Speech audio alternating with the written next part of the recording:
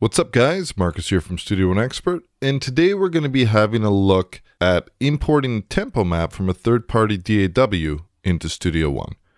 So, if you recall in a previous video, which I'll include a link to, I did a video on exporting a tempo map from Studio One that could be opened up or brought into third party DAWs such as Pro Tools or Logic Pro. So, now in this video, what I wanted to do is I wanted to have a look at the opposite order. And that's basically that you've started your work in either Pro Tools or Logic Pro or another DAW, and you need to import a tempo map because you've already got your markers set up and any tempo changes and whatnot. And you need to import that into Studio One. So as of the time I'm doing this video, and that's version 3.3.1 of Studio One, this is the way that we would go about doing this.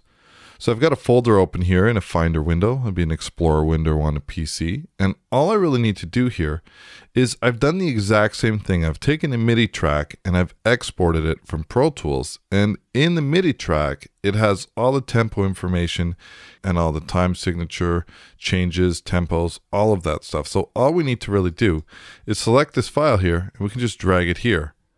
Now you'll see, do you want to load general MIDI sounds for this file? I'm going to go ahead and click no because I just want to generate the actual tempo map. So let's go ahead and just see what we're working with over here. And now what I'm going to do is I'm going to go ahead and I'm going to open up the tempo track over here and also we can open up the marker track. Now you can see here that we have all of our changes. We've got our start, our verse, our chorus, our bridge. We've got our tempo changes over here. And if we wanted to, we could very easily, by right clicking here, create arranger sections for markers. I could go ahead and very quickly set up arranger tracks for this over here. So I could very quickly start editing and start working right away. And then I could just determine what I want to do with this. In this particular case, I'm just going to hide this. But now essentially we have the foundation of our track that could have been started somewhere else. And if I had a 2mix to import, I could go ahead and import that audio file and just make sure I spot it to the proper position.